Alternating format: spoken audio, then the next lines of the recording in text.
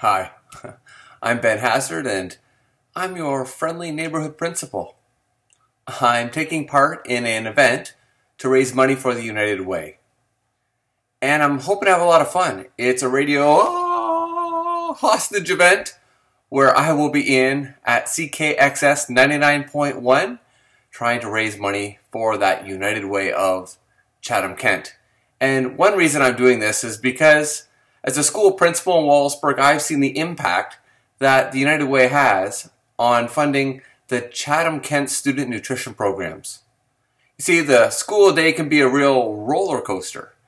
You know, the excitement of gym class, the calm of hearing your teacher read you a story. A healthy breakfast can really help students make the most of the exciting time that a school day should be. United Way does provide funds for elementary school students to help them have a healthy start to their day in a nutritious atmosphere, but also a fun and a social atmosphere as well, giving them the best start. So I'm hoping you'll consider sponsoring sponsoring me. You know, give five bucks, ten bucks, any bucks, whatever you can do. I appreciate it if you could give generously, as I'll be held hostage, hopefully not on a roller coaster, at CKXS FM 99.1 from 8 to 9:30 a.m. on Monday, January 19th, 2015. You can tune in, listen online.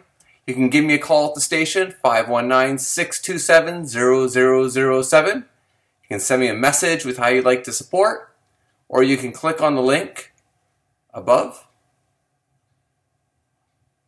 below, to the side, wherever that link is. I'm not sure and you can actually donate rate with the online form. It's easy.